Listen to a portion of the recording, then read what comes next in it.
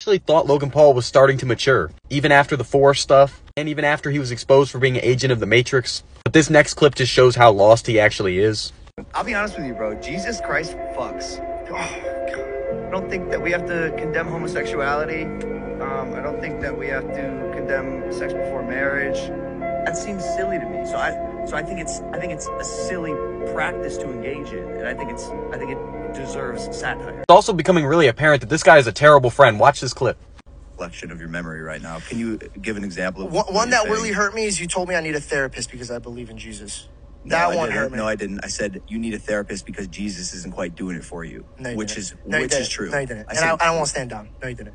You, You think, said you think I said nah, you need not a what I therapist 'cause think. I believe checked you and I said, "What did you just say to me?"